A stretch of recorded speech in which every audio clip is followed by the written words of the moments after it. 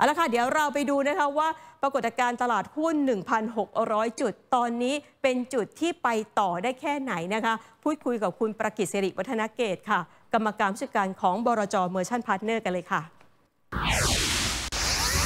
สวัสดีค่ะ คุณประกิตค่ะ ครับ สวัสดีครับคุณนิน่าครับ ค่ะ ตามคาดเลยนะคะ วันนี้ตลาดหุ้นไทยพอคลายความกังวล หุ้นแบงค์พาขึ้นมาได้ทะลุ 1,600 จุดไปเรียบร้อยแล้วนะคะ แต่ทีนี้คำถามสำคัญไปต่อไหม แข็งแรงพอที่จะไปต่อได้น้อยแค่ หรือได้มากแค่ไหนคะคุณประกิตคะก็มีโอกาสไปได้ต่อโอ้ค่ะนะครับมีโอกาสเลยครับอย่างที่เราได้คุยกันหลายครั้งว่าเอ่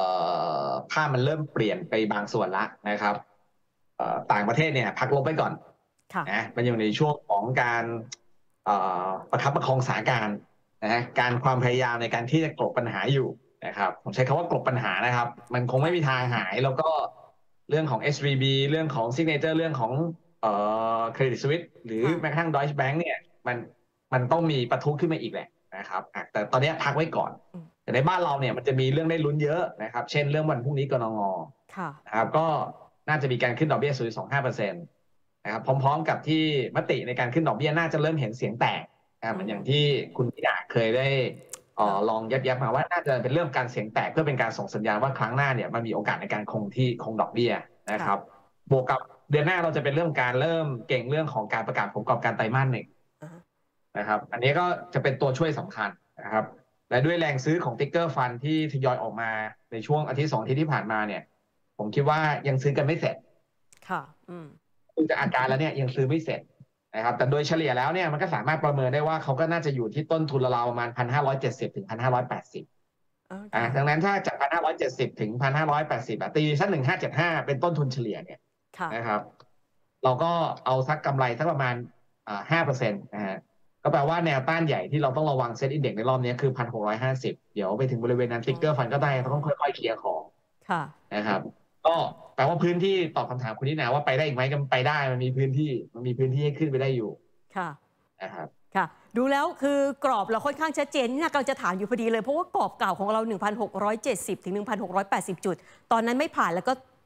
ลงมาแล้วก็ลงมาลึกเลย คราวนี้คุณประกิตให้ 1,650 จุดไว้ก่อน ถ้าไม่ผ่านหรือว่าถ้าผ่านไปได้มันมีมินนิ่งอะไรยังไงบ้างไหมคะโอ้ผ่านยาก ยากเหรอเอาเอาค้างคือไม่อย่างแรกดูแล้วไม่มีโอกาสเลยนะคะแรกก็เจอ trigger fund ใช่ไหมครับค่ะแต่ trigger fund ก็รออยู่ใช่ไหมครับ อย่างที่สองก็ โอ้โห นักลงทุนจากต่างประเทศต้องเข้ามาต้องกลับเข้ามานะครับค่ะอ่าอันนี้อันนี้ก็ยังเป็นความเป็นไปได้ยากอยู่ เพราะว่าเฟดยังไม่ปรับเปลี่ยนนโยบายนะครับเฟดก็ยังทำ QT นะครับเอ่อ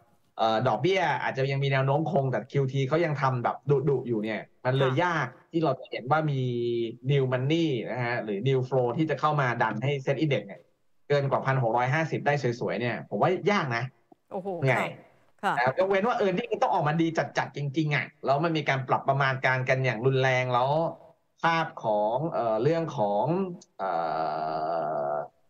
ภาพของเรื่องของเอ่อความกังวลเรื่องของสถานการณ์นะฮะการเอ่อค่ะการธนาคารในสหรัฐแล้วก็ยุโรปเนี่ยไอตัวแบงก์เฟเลียเนี่ย มันเบาลงมาก ๆ จริง ๆ นะครับแล้วเงินเนี่ยเขาก็ไม่กล้าที่จะอยู่ในอเมริกากันใช่ไหมแล้วก็ยิงค่ะยิงเข้ามาในเอเชียแปซิฟิกแบบอย่างชัดเจนอะโอเค มันก็จะผ่านพันหกร้อยห้าสิบได้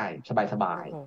ดูๆแล้วต่ก็ผมว่ายังไม่อยากมองขนาดนั้นยังไม่ไม่อยากมองขนาดนั้นเอาแบบว่าเท่าที่แบบว่าตามเนื้อผ้าปัจจุบันเนี่ย มันเลยค่ะน่าจะประมาณหนึ่งห้าศูนย์ก่อนนะค อ่ารับค่ะอ่านี่ถ้าถามเกรินส่งท้ายแล้วกันกรงงพรุ่งนี้คือฟังเรื่องของแนวโน้มเศรษฐกิจต้องเป็นโทนไหนยังไงดีคะถึงจะให้ความมั่นใจกับหุ้นได้ อย่างแรกผมเชื่อว่ากรงงก็จะพูดถึงเรื่องการฟื้นตัวเศรษฐกิจในประเทศกำลังซื้อในประเทศนะครับค่ะที่ดีขึ้นค่ะนะครับอันนี้มาแน่ๆมาแน่ๆเพราะว่าก็ดูจากที่รายงานเศรษฐกิจในทุกๆเดือนนะครับค่ะแล้วก็หุ้นน่าจะขึ้นก็เนี่ยคือเรื่องของ ความจำเป็นในการใช้นโยบายการเงินตึงตัวที่มันลดน้อยลงเพราะเงินเฟ้อกำลังเริ่มเข้าเข้าใกล้สู่เป้าหมายแล้วค่ะอันเนี้ยหุ้นก็น่าจะขึ้นตอบรับจากจากแปเซถ้าเป็นในทำนองนี้ได้ค่ะอะวันนี้ขอบพระคุณนะคะ คุณประกิตค่ะที่คุยกับรายการของเรานะคะ ขอบคุณค่ะครับครับสวัสดีครับ